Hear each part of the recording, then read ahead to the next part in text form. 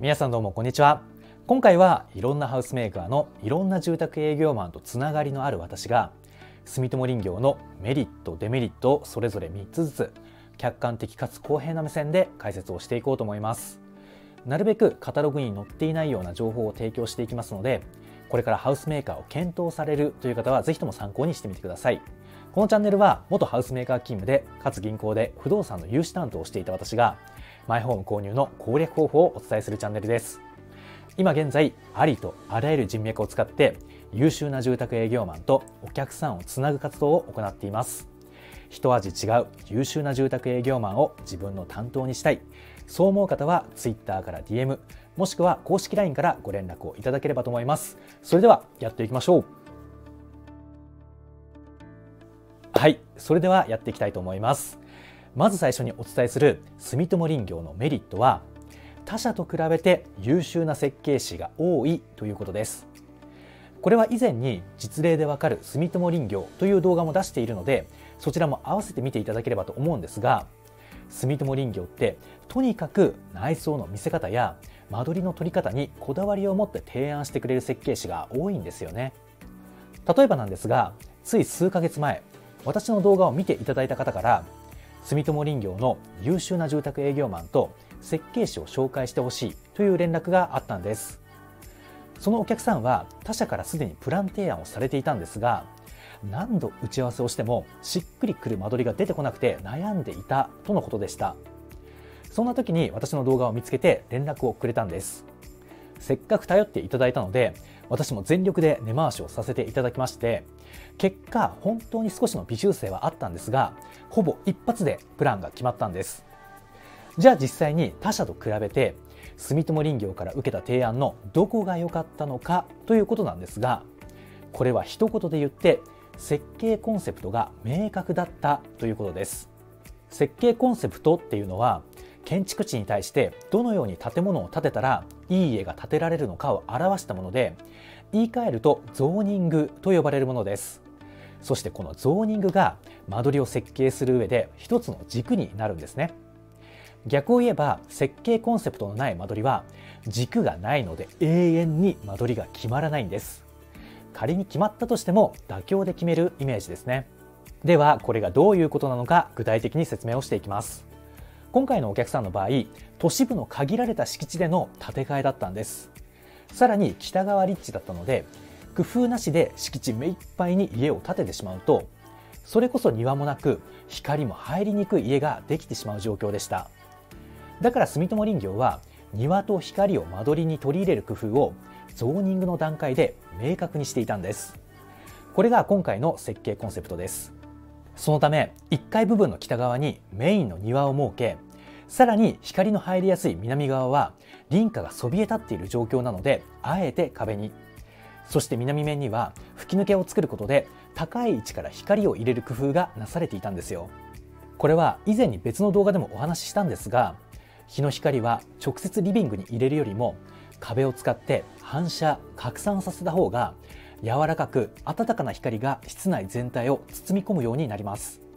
今回の設計もそういう意図があって南面を壁にそして吹き抜けから光を取り入れられるようにしたんです。ただこういった提案って話を聞くだけだと簡単に作れそうなんですが実は最初の設計コンセプトいわゆるゾーニングが明確でないと作ることができません。餅は餅屋と言いますが住友林業の設計はその引き出しの多さや間取り提案へのこだわりから満足度の高いプラン提案をしてくれる傾向が強いんです。これは全国各地の住友林業のプランを見ている私だからこそ断言できますがほぼ間違いないです。ただしもちろんその反面デメリットも存在します。それがデメリットの一つ目である設計の申し込み料として5万円かかるということです。これは他のハウスメーカーではない制度なんですが住友林業はきちんとした設計を動かす場合5万円払わなければなりません。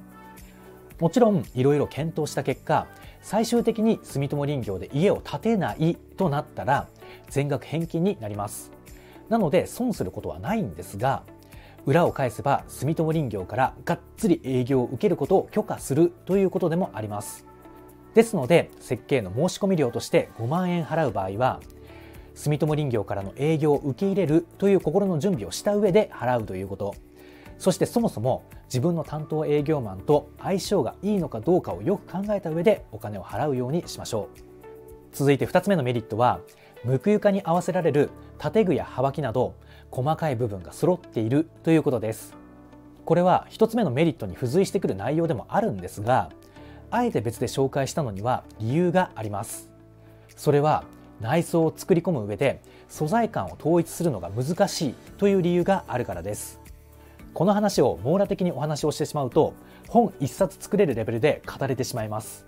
なので今回は皆さんが意外と見落としがちなキッチンパネルにフォーカスをして軽く説明をしていこうと思います。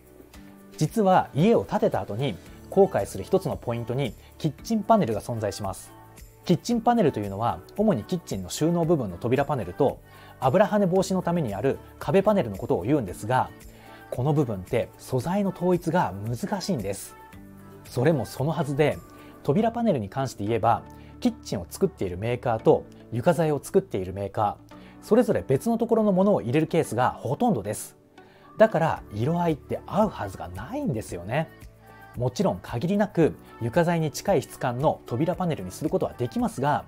よく見てしまうとやはり違いが分かってしまいます。またキッチンの壁パネルに関しては意識していないとつるてか仕様になっている場合があります。これだと壁紙との境界線が浮くんですよね。なのでマットな仕様にするとかして壁パネルを目立たなくさせる必要があるんです。めちゃめちゃ細かいんですがここまでこだわって提案してくれる人ってなかなかいません。ただ住友林業の場合キッチンハウスやトクラスと提携して床材に合うような仕様のキッチンを入れることができます。さらに関連会社の住友林業クレストという会社があるので細かい素材感っていうのを統一しやすいんですよ。なのでキッチンパネルについて説明が特別なかったとしてもおしゃれな内装に仕上がりやすいんです。他社で検討する場合はキッチンパネルは注意というのを覚えておかないといけませんからね。もともと考えることが多い注文住宅においてレールに乗れば間違いない仕様になるというのは結構大きなメリットだと思います。ただしここでもデメリットがあってそれが2つ目のデメリットのキコリン税です。ネットでは割と情報が出ているのでもしかしたら知っている人もいるかもしれませんが実は住友林業では標準工事から外れる提案工事の部分に対して12%の諸経費が上乗せされます。なので例えばシャッターのグレードアップで10万円床材のグレードアップで20万円合計で30万円上がったとしたらそれに対して12%の諸経費つまり3万6千円が手数料でかかるというものです。なのでグレードアップすればするほど12%の手数料がのしかかるという仕組みなんです。驚きですよね。私もこれを知った時はすごい仕組みだなって思いました。ただ住友林業の詳細見積もりと他社メーカーの詳細見積もりを比較してみたんですが実際のところほとんど金額は変わらなかったです。なので住友林業が特別高いというわけではなく住宅メーカー全般的に見えないだけでキコリン税のようなものが乗っかっていると考えた方がいいかもしれません。そして最後に3つ目のメリットがクラブフォレストに施工中の現場写真がアップしてもらえるということです。クラブフォレストっていうのは住友林業で家を建てた人のみがログインできるオーナーサイトのことです。そこに施工現場の様子がアップされるわけなんですがこれって地味にすごいことです。というのも以前からお伝えしている通りで住宅は営業マンによって金額が決まり設計によって家の出来が決まり公務によって家の質が決まるんです。要はクラブフォレストに掲載されている写真は家の質が決まる重要な部分の記録なんです。そのため四六時中現場に張り付くことができない施主にとっては家の質を確認するための唯一のツールなんですよね。またこの他にも個人的にはクレーム対策にも使えるというのが大きなメリットかなと思っています。どういうことかというと例えば工事の最中によくある近隣クレームの一つとして工事現場が汚いから埃で自分の家が汚れるみたいな話があるんですよ。